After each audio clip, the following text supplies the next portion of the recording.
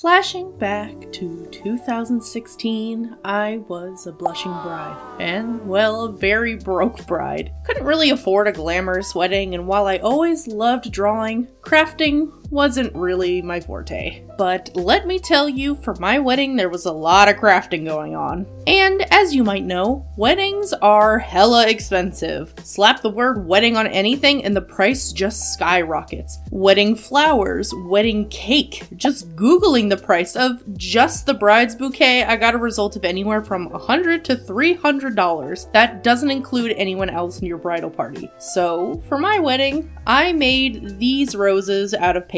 I didn't look up tutorials or origami or anything like that. I just played around with some paper until I got the results I liked, and so for this video, I'm going to show you how to make them. Let's get crafting.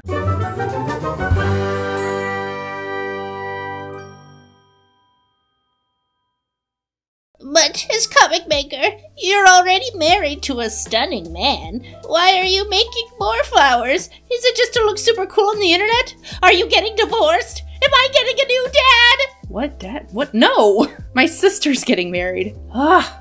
Phew.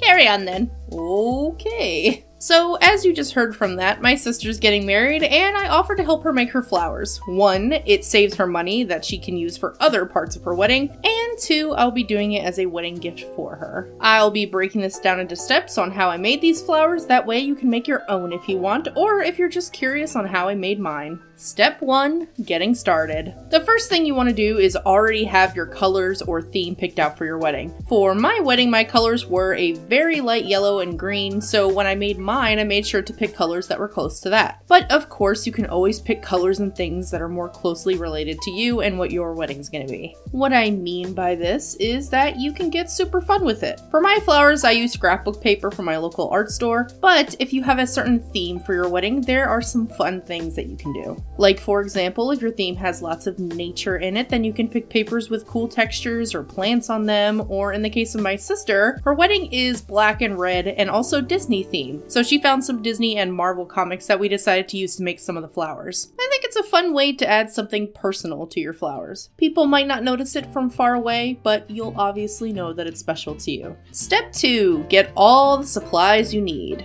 For just the basic rose, you will need scrapbook paper, scissors, a pencil, a stencil, which we'll talk about in a bit, a glue gun, glue sticks, flower stem wire, and then any other leaves, flowers, or accessories that you want to add to your bouquet. You'll also want a piece of sturdy paper to make a stencil for your petals. Cardstock can do the trick for that. When I made my flowers for my wedding, I cut out leaves myself and then just bought these little beads to poke out and give them some dimension. But for my sisters, we decided to buy a couple different small flowers and some darker green leaves that we can attach after the initial flowers are done. So now that we have all the things, let's get on to step three, which is preparing the petals. Typically, a rose petal is more of an organic oval shape, but for mine, I thought it would be cute to have my petals in sort of a heart shape. The size and shape in that department is really up to you. Mine ended up being about two inches tall and about two and a half inches wide. The bigger it is, the bigger your rose petals will be, but this size worked great for me. Sketch it out with a pencil onto your cardstock paper until you get a shape that you like. Cut it out, or cut out multiple if you have people helping you, and then trace a bunch of petals onto some of the paper that you got. If you're worried about ruining your cardstock paper, you can always make a trial rose on some regular computer paper first. Now, tracing and cutting out each petal is honestly the thing that takes the longest time, but I found the best way and time to do it was in moments where I was just chilling on the couch watching stuff after work.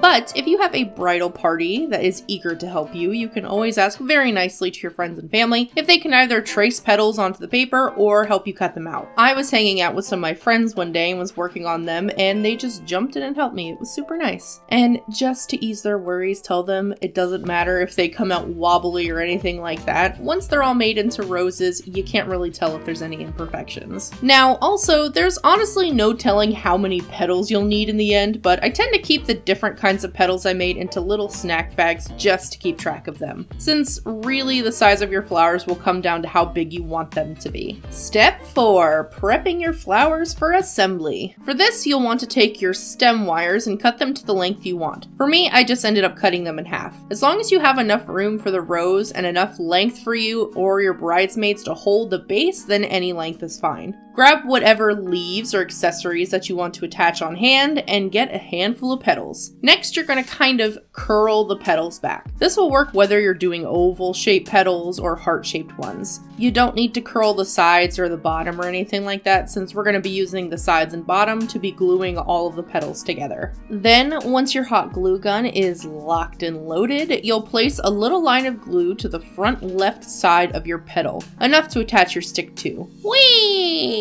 Step 5 Making the flower. This part, as you can imagine, is kind of tricky and honestly for me it came down to what kinds of paper I was using. Stiff, sturdy paper was a little bit tougher to form, while softer, textured paper worked the best. But honestly, once your whole flower is finished, it looks pretty regardless, so don't be discouraged if some of your paper tears or if you need to bend it a bit to fit to your will. Before we start this part, let me just apologize right now for the quality of the footage. Watching it back, there were many moments where I pulled the flower off camera to look at it and make sure it was looking alright, so there will be a lot of back and forth here. Bear with me, please. So with the first petal, you're going to want to wrap it as best you can around the base of the rose. It can be loose or tight, it's really up to you. If you see the wire in the middle and you don't like that, wrap it tighter, but honestly, I never really noticed. Then, once you've wrapped it around, you're to glue the other end of the petal to the base of the rose. Be careful, obviously you're working with hot glue, so there will probably be moments where you get hot glue on yourself, so just be super, super careful. Like if you're going to be trying this for yourself and you're not getting married, obviously if you're getting married, you would probably be of age, and if you're not of age, then obviously you should have the appropriate people with you, such as an adult, to do the things with the hot stuff and, and things and stuff. Anyway, you can see here that I am now deciding to roll the petals. You can tell it's been a while since I've made these. I would prep a couple beforehand, but it's honestly up to your own flow how you do this. Now start grabbing more petals and wrapping them around the rose. For this part, I try to make sure that the next petal is in a spot where it needs another petal sticking out so it looks even and then I keep going from there. This is probably the best way to make sure you get as even of a rose as you can. Continue repeating these steps until you get it to the size that you want it. You can of course make them bigger than mine or smaller or even have bigger roses of one color and smaller of another. The choice is yours. Then after you get to a stopping point, you end up with this. Each flower took me around 3 to 5 minutes to do, but once you get into a flow of it, it moves on pretty quickly. Now while we go through some footage of me making a couple more types of roses here, I shall give you some other tips and tricks that I figured out while making these myself. But if you end up trying to make some yourself and have any questions, feel free to leave a comment and let me know. Okay, First, depending on the paper you have, you might need to trim some of your petals. There are moments where I either set a petal up too high, or while curling it around the rose and trying to position the petals how I wanted, I tore the paper. This is where your handy dandy scissors come into play. I'll either cut off a bit or trim the part of the area that I tore to make it look seamless. Once your flowers are kind of bunched together and surrounded by other things, you won't really notice the bottom, so if it's not perfect at the base, don't worry. Next, if you have some flowers that didn't turn out to be your favorite and you don't want to waste them by not including them in your bouquet, you can always just detach it from the flower stem and use them as decoration on some of your wedding tables, or you can make some boutonnieres for your spouse and their bridal party if the roses are too small, or if you have some extra petals and you didn't have enough to make a whole nother rose, you can sprinkle them over tables as decorations or down the aisle. Multi-purpose, we love that. Then lastly, putting it all together. Now this obviously comes to your personal taste and preference. In the end, it was just cheaper for me to buy paper and make them than it was to buy fake or real flowers and assemble them together, so this is just a very simplified bouquet. But really, you can add whatever you want. I'm pretty indecisive and very easygoing, so I'm not worried about things being perfect, but of course if you have a crystal clear vision, you should absolutely go for it. Just lay them all out and put different combinations of flowers and accessories together to see what you like. Then, once you decide on a mini bouquet, then you can buy the rest of whatever you need and combine them however you want. With just what I made for this video, I tested out a version of the bouquet with the white flowers and comic flowers, and a version with just the red and black to see what my sister liked. The great thing about this is that since the stems are wire, you can easily take them apart and reassemble them until you get what you want.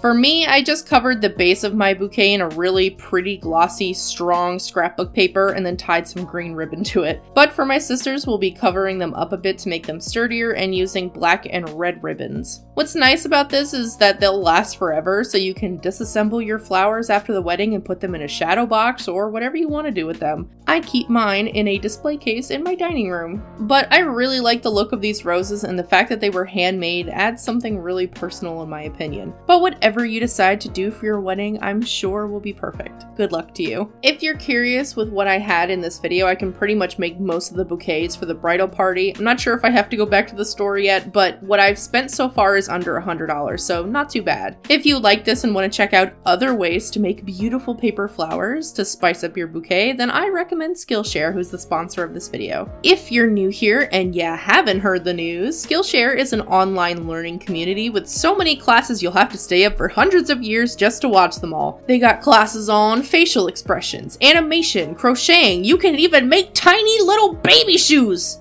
for babies! I mean, I guess you can make them for yourself, like put them on your fingers and do a little dance, but that's besides the point. They got lots of great reasons to join as well. They're ad free, epic. They have new classes every week, epic, and their entire catalog is also available with subtitles in Spanish, French, Portuguese, and German. Epica! God, what the heck am I doing? Now, if you like the flowers we learned to make today and want to learn how to make others, well, there are tons of paper flower videos on Skillshare. I would really recommend the class create a realistic paper rose with Ellen Espagne. She really goes in depth on each step and each petal of the flower that she adds to her roses. It was a simple and easy tutorial that was only about 30 minutes and was super thorough. If that has got your craving for learning hungrier than ever, then head on down to the link in the description and comment. The first 1,000 people to click that link will get a one month free trial of Skillshare so you can explore your creativity. So give it a try, keep making incredible stuff, and thank you so much to Skillshare for sponsoring this video. But that's it for this one. Like I said before, if you have any questions about this process or have other suggestions for crafty things you want me to try, leave it all in the comments down below. As always, videos like this are possible because of my amazing banana members and people like you who like, comment on, and share my videos. I appreciate you all stopping by, and I hope that we can draw together again soon. Bye guys.